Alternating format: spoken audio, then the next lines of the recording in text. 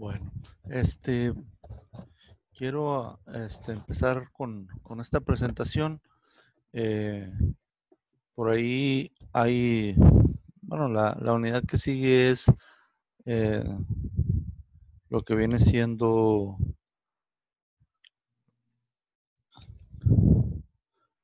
biomasa residual seca y cultivos energéticos. Eh, yo quiero más o menos este, abarcar un poquito de, ambas cosas.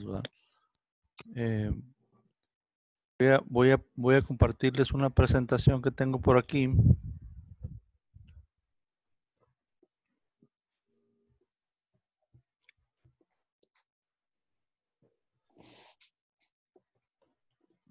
pero habla de ya de la unidad 3, que son los biocombustibles. Eh, quiero eh, abarcar ese tema porque me parece todavía un poquito más interesante para compartirlo con ustedes.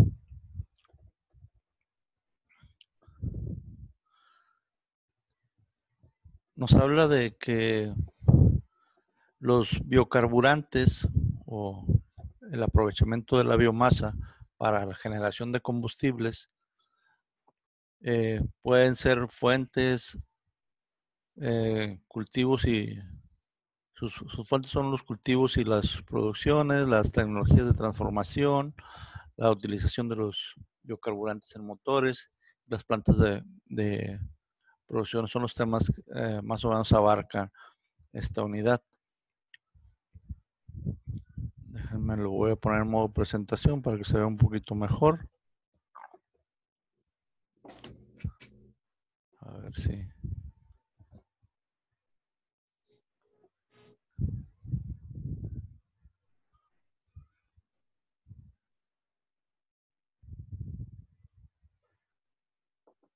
Ok.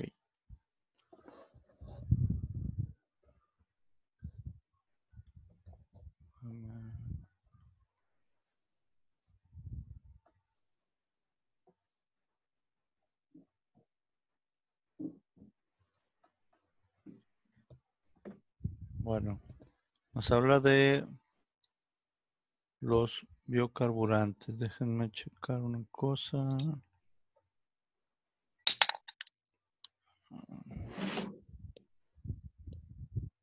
Ok. Maestro, ¿no habría opción de ponerlo mejor en pantalla completa? Sí, es lo que es, eh, lo que pasa es que se los lo tengo en dos pantallas y quería compartirle la segunda pantalla, pero déjenme checar cómo, le, cómo la comparto. Lo voy a dejar de compartir y lo vuelvo a compartir. Ah, compartir.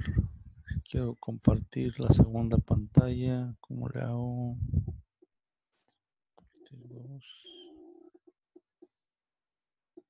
Acá está. Ya está. Ok, ahí se ve mejor.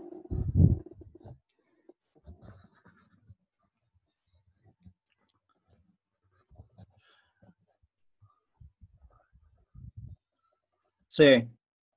Ok, ok. Bueno, entonces, este,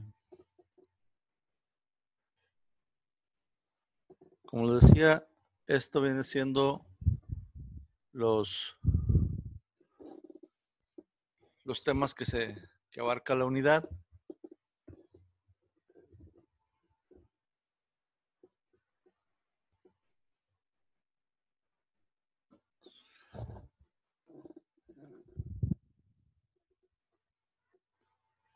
Nos dice que los, un biocarburante o un biocombustible es una mezcla de hidrocarburos que se utiliza como combustible en los motores de biomasa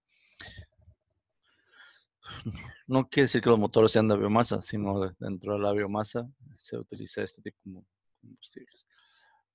Eh, la materia orgánica originada en un proceso biológico espontáneo o provocado utilizable como una fuente de energía. ¿Cuáles son las fuentes o los cultivos que pudieran producir hidrocarburos? Bueno, carburos, carbonatos. Eh, para la obtención de los biocarburantes se pueden utilizar las especies de uso agrícola como maíz, mandioca, soja, girasol, palmas, eucalipto, pinos. Y los de origen biológico pueden sustituir parte del consumo de los combustibles fósiles tradicionales como el petróleo y el carbón. Dice que la utilización de los biocarburantes en motores, los más usados y desarrollados son el bioetanol y el biodiesel.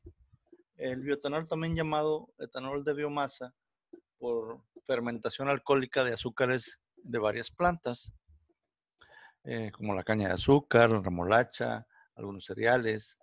Y el biodiesel se fabrica a partir de aceites vegetales que, se hayan, que hayan salido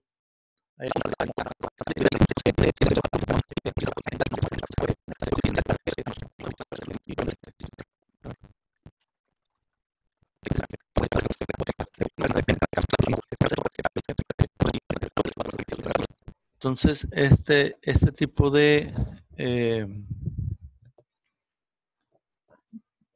parte de lo que es la biomasa, podemos decir que los combustibles los podemos generar de alguna manera este prácticamente a partir de, la, de los vegetales, ¿verdad? De los de las plantas y, y ya hay este, industria de esto. O sea, ya hay biocarburantes este, que se están vendiendo en, no en una gasolinera común, pero sí hay este, estos biocarburantes que ya se están comercializando. Entonces, este, por ahí, este, también voy a buscar por ahí un, un video eh, tengo por ahí de, lo que viene siendo una generación de, biodiesel para que lo observen. Eh, lo, voy a, lo voy a subir ahí a Claro como material para que lo, le den una, revisada, una, una, visualizada y lo tengan ahí también en cuenta de ese tipo de cosas. Este, en, en cuestión de biomasa, nuestro programa abarca eh, lo que viene siendo la biomasa residual seca y cultivos energéticos, los biocarburantes y la biomasa residual húmeda. Entonces, este, para la siguiente clase yo les voy a exponer también un poquito de la biomasa húmeda y, y quiero que, eh, pues aquí no quiero hacer una práctica porque esto sí sería algo costoso. Este, para generar, necesitaríamos equipo de laboratorio, muchos, muchos, muchos detalles para poder generar un, este, un combustible. Pero sí, este, me gustaría que investigaran sobre eh, la generación de la composta. ¿sí? Entonces, eh, es parte de, de, lo que es eh, ya les había platicado un poquito, los biogener, bio, ahora sí que los tanques que, podemos este, nosotros este, adquirir o fabricar para poder generar composta.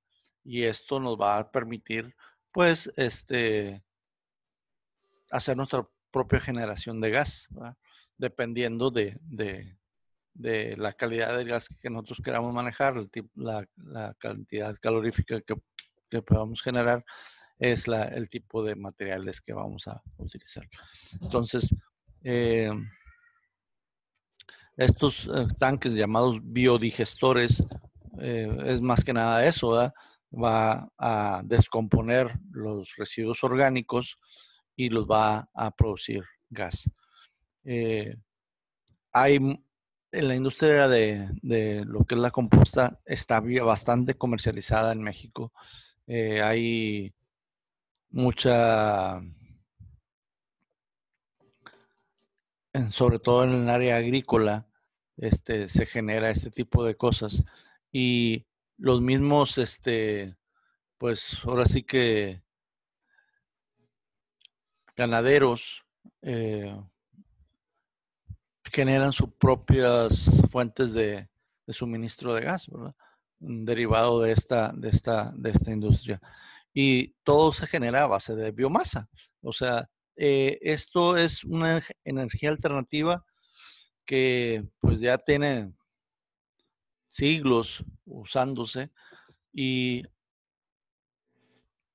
la primera o la, primera función fue el carbón, ¿verdad? El carbón es parte de la biomasa, pero genera mucha contaminación al quemarse.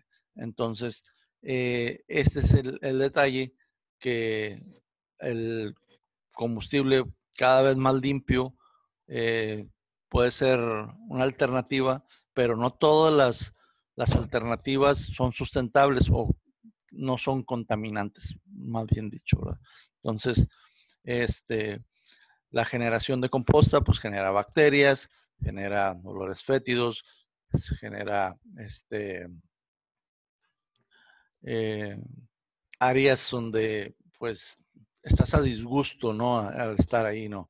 Entonces, eh, no es algo que sea em, muy viable para todos derivado de, este tipo de situaciones. Eh, hay gentes pues que, que ya están acostumbrados a este tipo de, cosas. Les voy a platicar una anécdota muy curiosa y a lo mejor, pues, espero que no sean muy asquerosos, pero este, yo en mis inicios de mi, de mi carrera, yo, yo terminando, yo primero fui ingeniero en electrónica y después me, me titulé de ingeniero en electrónica del Tecnológico de Reynosa y luego posteriormente estudié la carrera de ingeniería petrolera ahí en la UNT.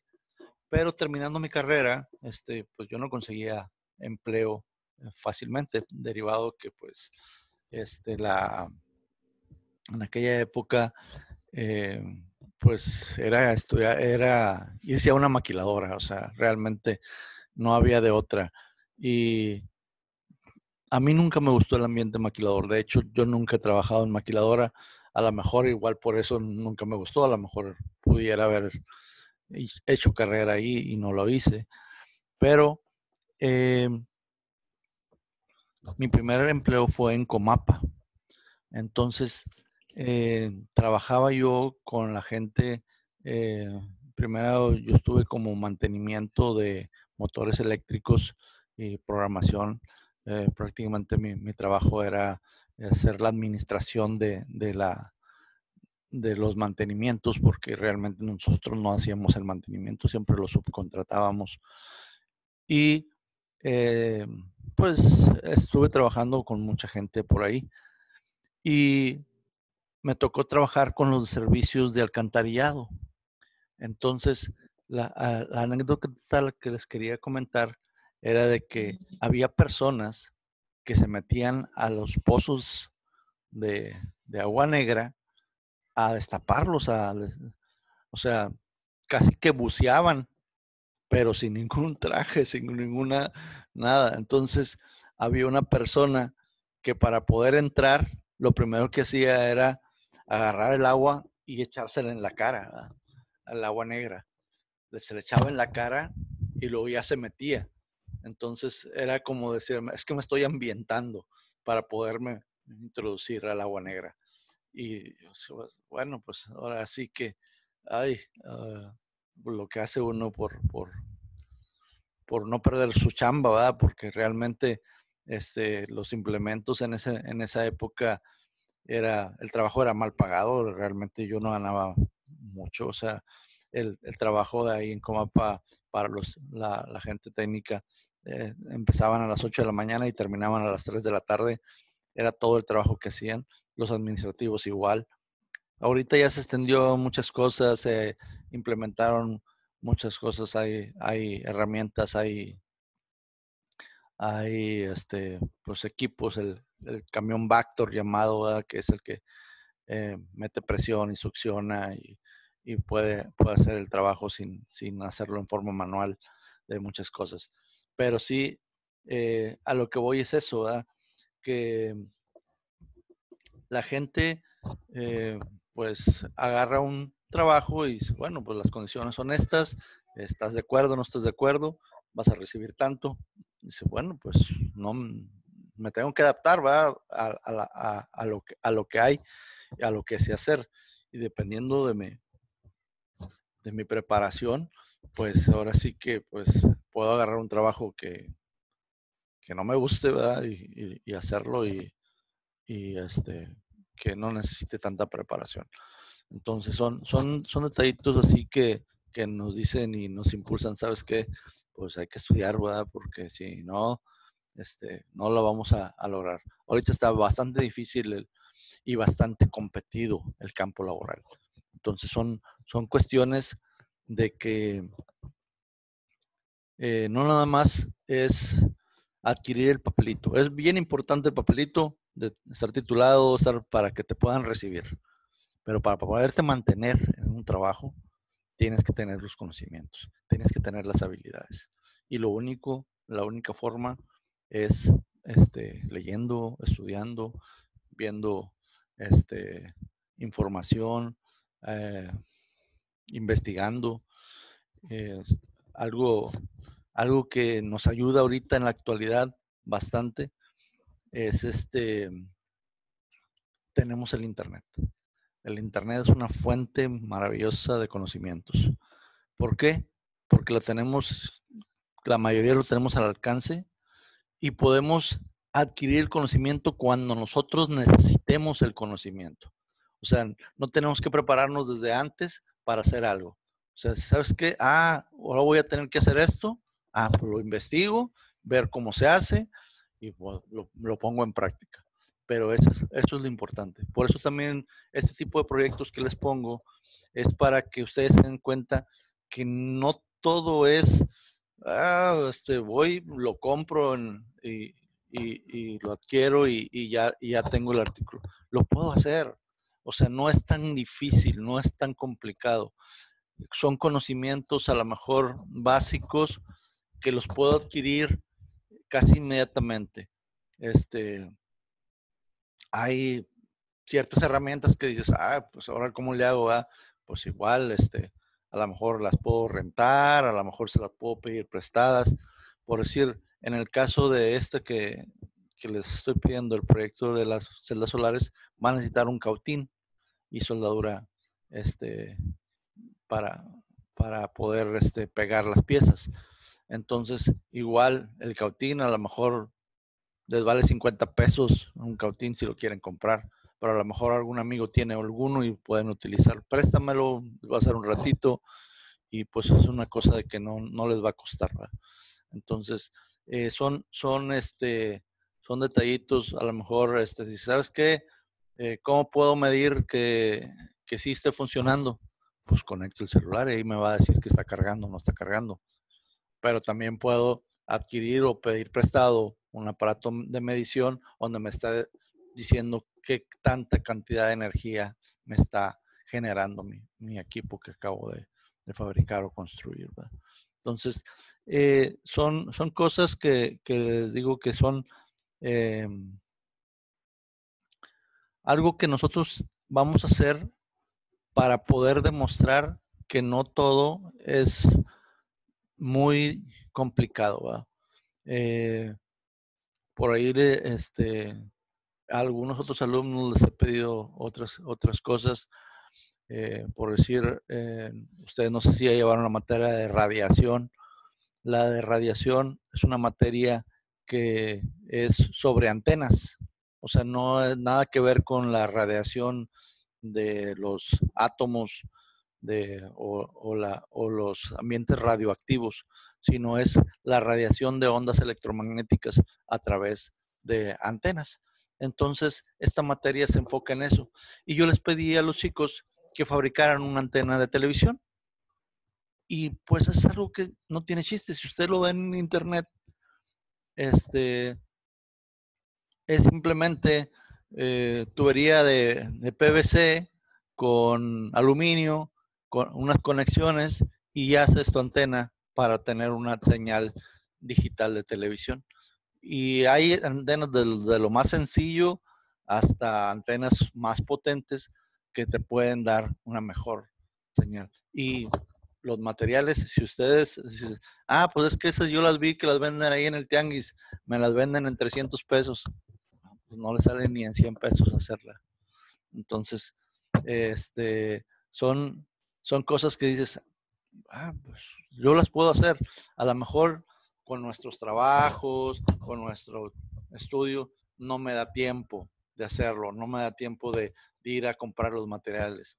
¿Por qué?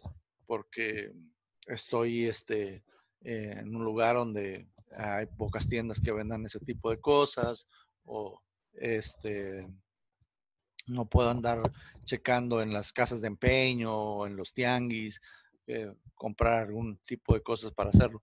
Pero si ustedes se ponen a ver videos de este tipo en internet, se van a dar cuenta de muchas cosas que podemos fabricar en forma muy práctica y muy sencilla y a un poco, a un muy poco costo.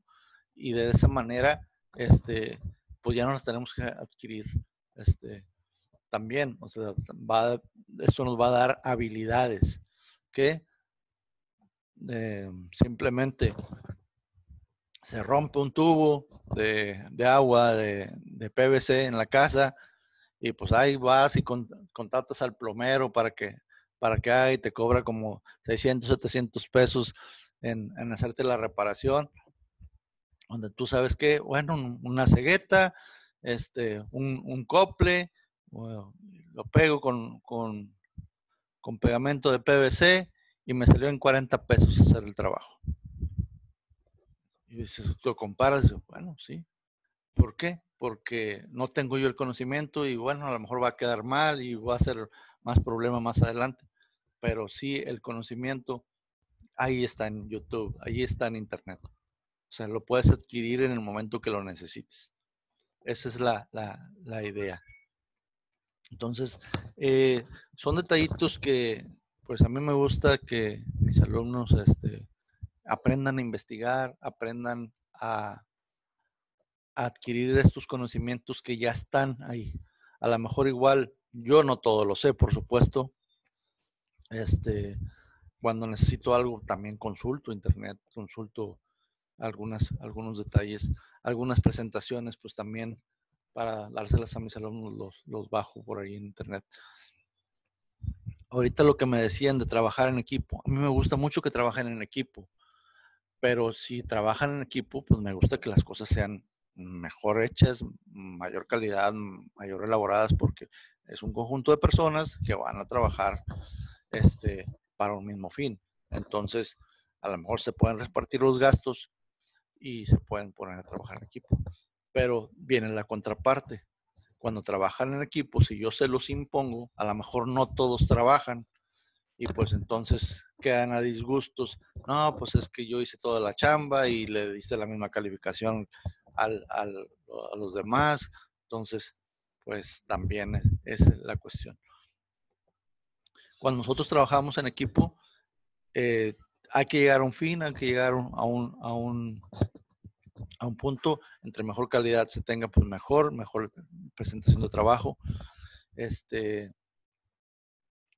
pero sí, me gusta que el trabajo se haga entre todos, o sea, que todos cooperen, que todos este, eh, pongan su granito de arena dentro del proyecto, dentro del trabajo. Yo, eh, en este caso, cuando hacíamos las clases presenciales, al final del TETRA, yo les pedía un, cuadernillo o un cuaderno de actividades de todo el, de todo el tetra. En este caso, de módulo. Eh, los módulos eran de, de, dos meses prácticamente, se veían tres materias.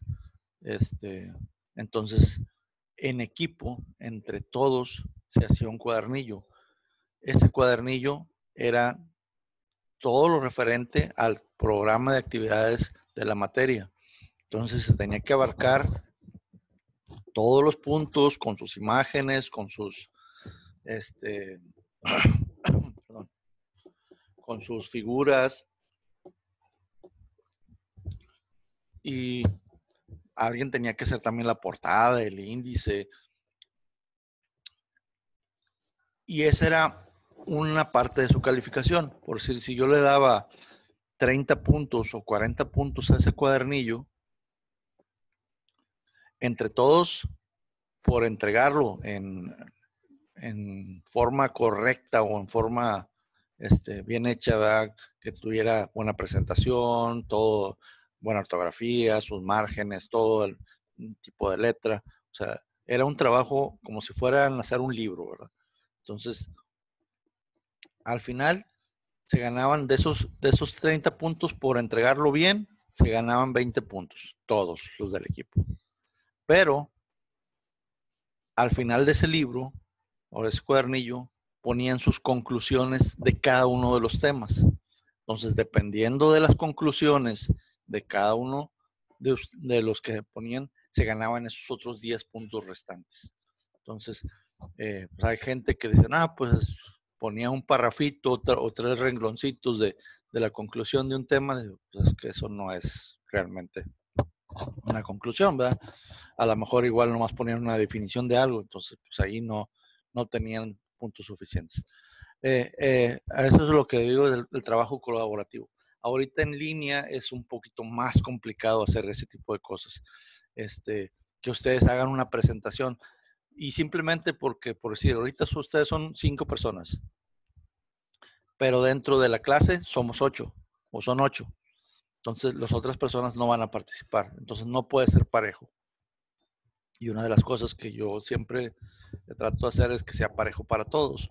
Eh, las otras personas que no están participando aquí en el chat no van a poder exponer, por lo tanto, este, pues no, no tendrían esa forma. Hay que calificarnos de otra manera. Entonces, ahorita la, la, oportunidad está para todos, todos van a estar trabajando y pues lamentablemente ahorita va a ser en forma individual, eh, a excepción de este, de este proyecto que ustedes lo quieren hacer equipo, adelante, no hay ningún problema. Bueno, por ahí nos quedan cinco minutitos de clase. ¿Alguna duda, alguna cuestión que quieran comentar, practicar? Este, eh, algo de, sobre sus compañeros que, ya, comentaron con ellos cuál es el, detalle, aparte de, que trabajan. Este, eh, tengo aquí, ustedes son cinco, nada más dos de ellos me han comentado que, están trabajando esta hora. Falta una persona que no sé por qué no se ha comunicado conmigo.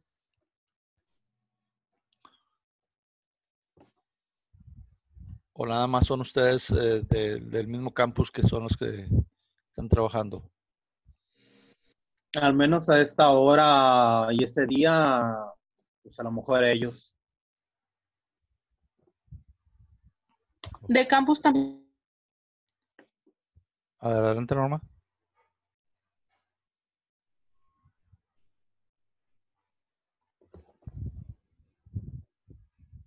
Vico somos cuatro y somos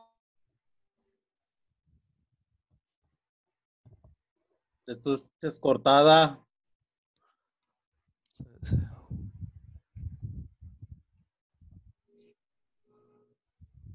William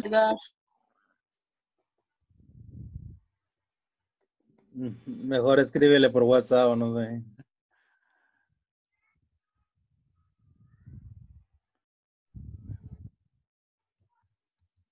Bueno, eh, eh, creo que son de madero, ¿no?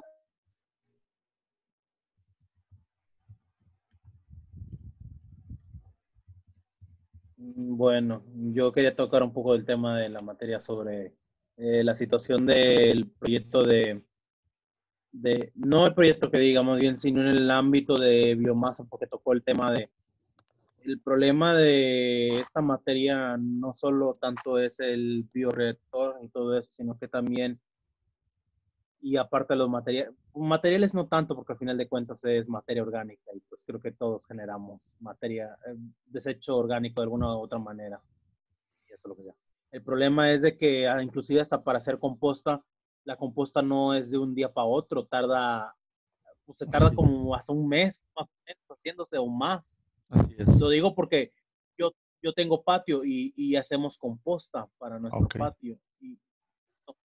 Las hojas y todo eso tardan más de un mes en deshacerse. Sí, este, por eso precisamente, o sea, no quiero pedirles un proyecto de ese tipo porque son un proyecto muy, este, eh, que necesita mucha extensión de tiempo, pero más que nada, este, el, el, lo que les va, lo, voy a pedir es un proyecto documental del proceso, eh, qué es lo que hace, o sea, eh, cantidades de producción, eh, qué gas obtenemos, en este caso, pues por, por lo raro tenemos el gas metano, eh, ¿qué, ¿qué, podemos hacer con, con, con, con ese tipo de cosas y qué tan viable es hacerlo en forma particular, o sea, no, no, para la venta, o sea, sino para el consumo, para el consumo propio ¿verdad? De, de, nuestro, nuestro, de nuestro hogar, pues para de gasto, algunas cosas. se- pues se puede, gasto en la casa nada más es lo más difícil básicamente en con- comprarse un, un tambo de 200 litros básicamente, lo más. Y ya con eso uno se puede ir empezando a hacerse su bioreactor. El problema es más la situación del tiempo y todo eso, como dije.